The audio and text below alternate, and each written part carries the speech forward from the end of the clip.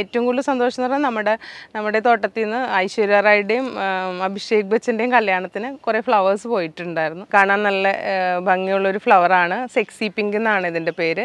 നല്ല ഡിമാൻഡുള്ള ഫ്ലവറാണ് ഇത് ornamental pineapple ആണ്. ഇത് നമ്മുടെ ടോട്ട് ജിഞ്ചർ എന്ന് പറഞ്ഞ ഫ്ലവറാണ് അത് വെച്ചിട്ട് നമ്മൾ പെട്ടെന്ന് ഈസി ആയിട്ട് ചെയ്യാവുന്ന ഒരു ബഞ്ച് ബൊക്കെയാണ് ഞാൻ കാണിച്ചിരിക്കുന്നത് കലാത്തിയ റാറ്റിൽ ഷേക്കർ എന്ന് പറഞ്ഞൊരു ജിഞ്ചർ വെറൈറ്റി പ്ലാന്റ് ആണ്. ഇതിന്റെ ഫ്ലവേഴ്സും കുറച്ച് നമുക്ക് ലാസ്റ്റ് ചെയ്യും. സോങ് ഓഫ് ജമൈക്ക എന്ന് പറഞ്ഞത് സോ ഇതിന്റെ തന്നെ സോങ് ഓഫ് ഇന്ത്യ ഉണ്ട് ഒരു വൈറ്റ് ഷെയ്ഡിൽ റോസ്ട്രാറ്റ എന്ന ഇതിന്റെ പേര് അങ്ങനെയാണ്. ജിഞ്ചർ ലില്ലി സാധാരണയായിട്ട് ഒരു ഡാർക്ക് പിങ്ക് കളറിലാണ് കൂടുതൽ കാണാറുള്ളത്. എന്റെ അടുത്ത് ഇതൊരു മൂന്ന് കളറുണ്ട് അപ്പോൾ ഇതും ഒരു എക്സ്ട്രാ ഒരു വരുമാനം കൂടിയാണ്. ഇത് ഹെലിക്കോണിയുടെ ഒരു വെറൈറ്റിയാണ് ഇതിന്റെ ഒരു ഓറഞ്ച് ഷെയ്ഡ് ഇത് ഇടവിള കൃഷിയായിട്ട് ചെയ്യാൻ പറ്റുന്ന ഒരു ചെടിയാണ്.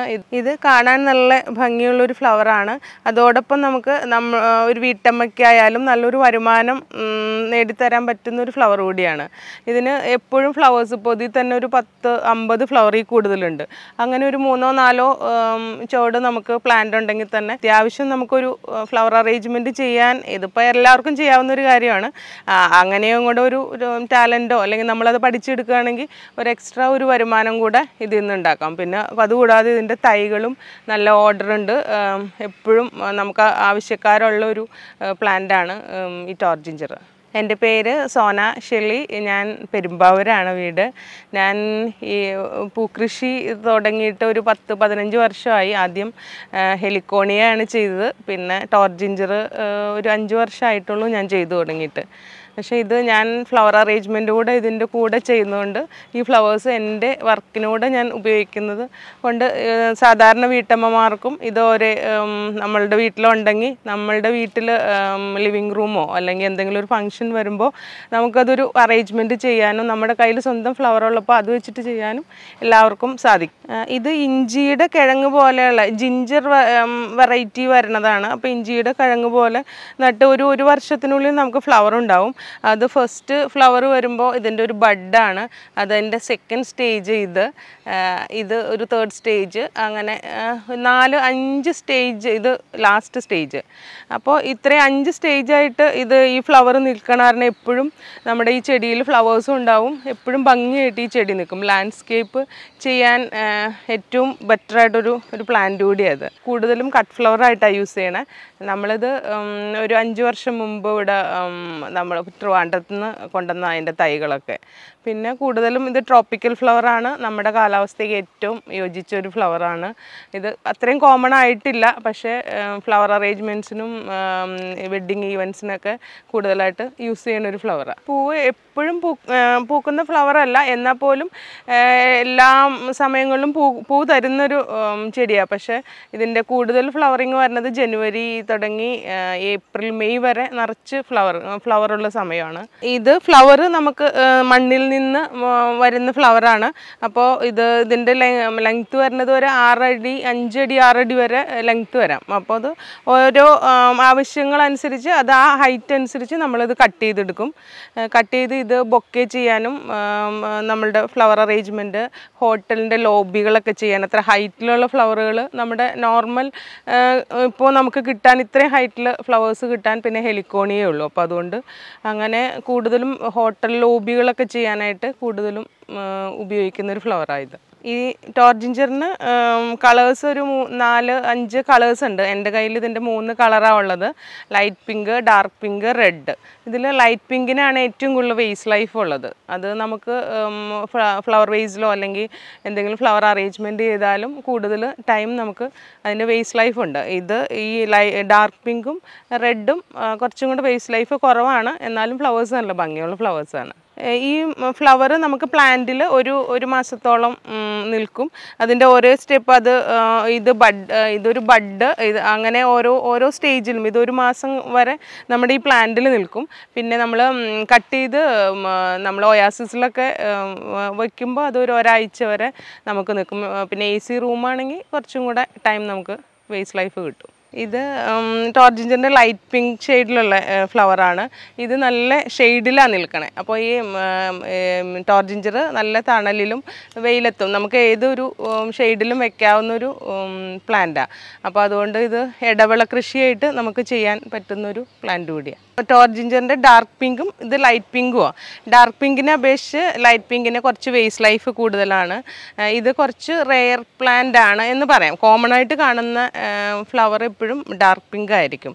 ഇതും നിറച്ച് ഫ്ലവേഴ്സ് തരുന്ന ഒരു പ്ലാന്റ് ഇതാണ് ടോർജിഞ്ചറിന്റെ ഒരു കറക്റ്റ് സൈസ് ഇതിന് ഈ ഒരു സൈസിൽ നമ്മൾ ഫ്ലവർ അറേഞ്ച്മെന്റിന് അല്ലെങ്കിൽ ബ്രൈഡൽ ബൊക്കെയൊക്കെ ചെയ്യാനൊക്കെ നമ്മൾ ഉപയോഗിക്കുമ്പോൾ ഈ ഒരു സൈസിലുള്ള ഫ്ലവറാണ് കൂടുതലും യൂസ് ചെയ്യാറുള്ളത് ഇതാണ് ടോർജിഞ്ചറിന്റെ റെഡ് ഫ്ലവർ ഇത് കുറച്ച് മറ്റേ രണ്ട് ഫ്ലവറിനെ അപേക്ഷിച്ച് കുറച്ചും കൂടെ കോസ്റ്റ്ലി ആണ്. പക്ഷേ ഇതിന്റെ തണ്ടിനും ഒരു റെഡ് ഷെയ്ഡ് വരും.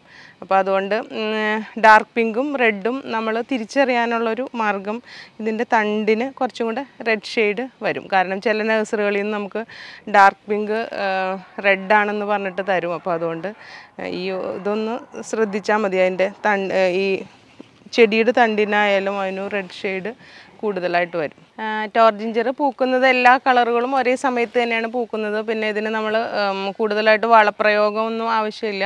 നമ്മളതിന് പെസ്റ്റിസൈഡ് ആയാലും ഒന്നും തന്നെ ഞാനൊന്നും ഉപയോഗിച്ചിട്ടില്ല. സാധാരണ അങ്ങനെ ഒരു പെസ്റ്റിസൈഡൊന്നും ഉപയോഗിച്ചതായിട്ട് നമുക്കങ്ങനെ അറിയില്ല. അതുകൊണ്ട് നമ്മൾ നമുക്കും അങ്ങനെ കേടുകളൊന്നും വരാത്തത് കൊണ്ട് ഇതിന് കുറച്ച് കെയർ കൊടുത്താൽ മതി.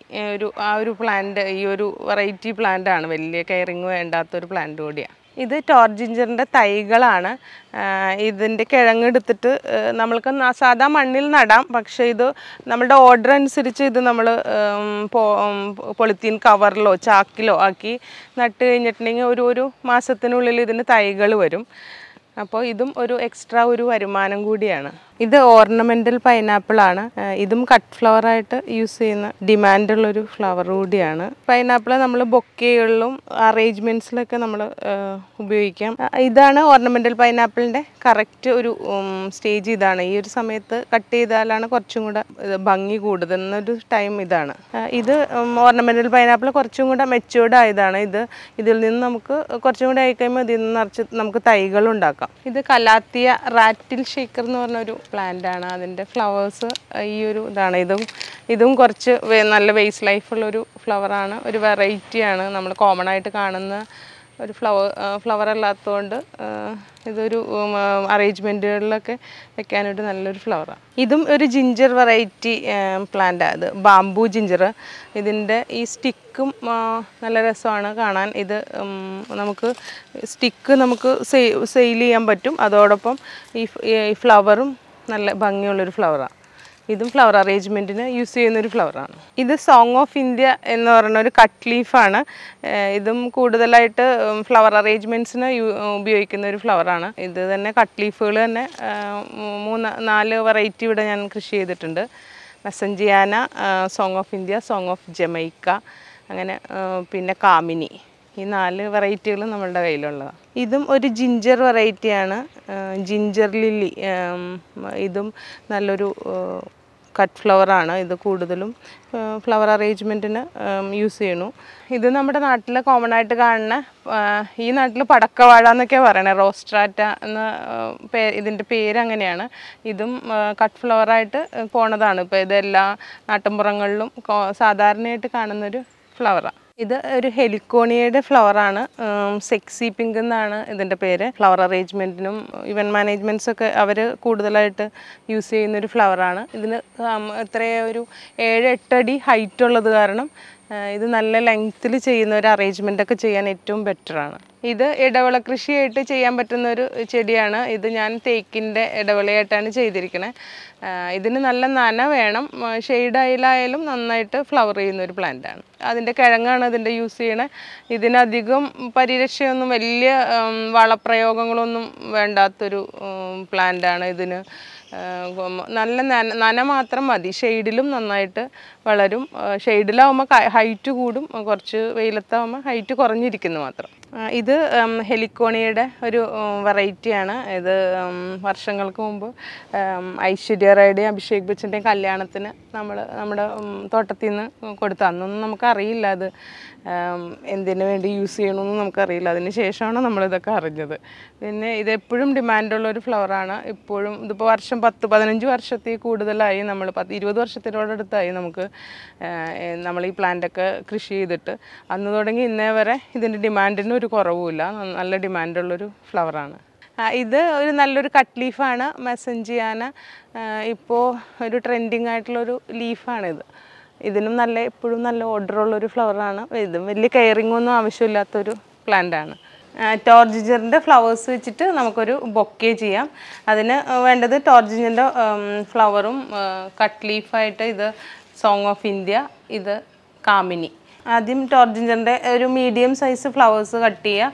അതിനുശേഷം നമ്മളത് ഒരു ബഞ്ചായിട്ട് പിടിക്കുക. ഞാനൊരു ചെറിയൊരു ബഞ്ച് ബൊക്കെയാണ് കാണിക്കുന്നത്. കാരണം എല്ലാവർക്കും കുറച്ചും കൂടെ ഈസി ആയിട്ട് ചെയ്യാൻ പാകത്തിന് ഒരു ബഞ്ച് ബൊക്കെ ചെയ്ത് കാണിക്കാമെന്ന് കരുതി. അപ്പോൾ ആദ്യം ഫ്ലവേഴ്സ് ഒന്ന് ബഞ്ചായിട്ട് പിടിച്ചതിന് ശേഷം അതിനെ സെല്ലോ ടേപ്പ് കൊണ്ട് ഒന്ന് ടൈറ്റ് ചെയ്ത് നന്നായിട്ട് ചുറ്റിയെടുക്കുക. അതിനുശേഷം അതിന് ചുറ്റും ലീവ്സ് വെച്ചിട്ട് വീണ്ടും നമ്മൾ സെല്ലോ ടേപ്പ് വെച്ചിട്ട് ടൈറ്റ് ചെയ്ത് കൊടുക്കുക. സോങ് ഓഫ് ഇന്ത്യ എന്ന് പറഞ്ഞൊരു കട്ട് ലീഫാണ് ഇതിന്റെ. അടിയിലുള്ള ഇലകളൊക്കെ കട്ട് ചെയ്തിട്ട് നമ്മൾ ഈ ഒരു ഷേപ്പിൽ ആക്കിയെടുക്കുക അത് അതിനുശേഷം ശേഷം നമ്മ- ഈ ഓരോരുത്തരുടെ ഇഷ്ടം. ഓരോ ഇതുപോലെ നമ്മൾ അതിന്റെ ഓരോ സൈഡിലായിട്ട് ഈ ലീഫ് വെച്ചിട്ട് നമ്മൾ സെല്ലോ ടേപ്പ് കൊണ്ട് ടൈറ്റ് ചെയ്യുക. പക്ഷെ നമ്മൾ ഇതിന്റെ സ്റ്റെം ഒരു കറക്റ്റ് ഒരു ലെവലിൽ കട്ട് ചെയ്തെടുക്കുക. സ്റ്റെം നമ്മൾ കട്ട് ചെയ്തതിന് ശേഷം നമ്മൾ ഈ ഒരു സെല്ലോ ടേപ്പ് കാണാതിരിക്കാനായിട്ട് നമ്മൾ എന്തെങ്കിലും വെച്ചിട്ട് നമ്മൾ ഈ ഒരു സ്റ്റെം ഇത് കവർ ചെയ്യണം. അത് ഞാനിവിടെ ഒരു ജൂട്ടിന്റെ മെറ്റീരിയൽ വെച്ചിട്ടാണ് ഈ ഒരു ഭാഗം കവർ ചെയ്യാൻ പോകുന്നത്. അത് കഴിഞ്ഞ് അതിന് ശേഷം നമ്മളിത് ടൈറ്റായിട്ട് ഇരിക്കാൻ വേണ്ടിയിട്ട് നമ്മൾ ഈ മുട്ട് സൂചി കൊണ്ട് ഇതിനെ ടൈറ്റ് ചെയ്ത് കൊടുക്കുന്നു. ഇതിപ്പോൾ ടോർജിഞ്ചർ വെച്ചിട്ട് സിമ്പിളായിട്ട് ചെയ്യാവുന്ന ഒരു ബൊക്കെയാണ് ഞാൻ കാണിച്ചിരിക്കുന്നത് ഇതൊക്കെ ഒന്ന് ട്രൈ ചെയ്ത് നോക്കുക. ഇങ്ങനെ ടോർജിഞ്ചറൊക്കെ ഉണ്ടെങ്കിൽ അത് നല്ലൊരു വരുമാന മാർഗം കൂടിയാണ്. നമുക്ക് ഫ്ലവേഴ്സിനും ഓർഡർ ഉണ്ട്. അതോടൊപ്പം തന്നെ നമ്മൾക്ക് ചെറിയ രീതിയിൽ നമ്മുടേതായ രീതിയിൽ നമുക്ക് ബൊക്കെ ചെയ്ത് അതും ഒരു വരുമാന മാർഗമാക്കാവുന്നതാണ്.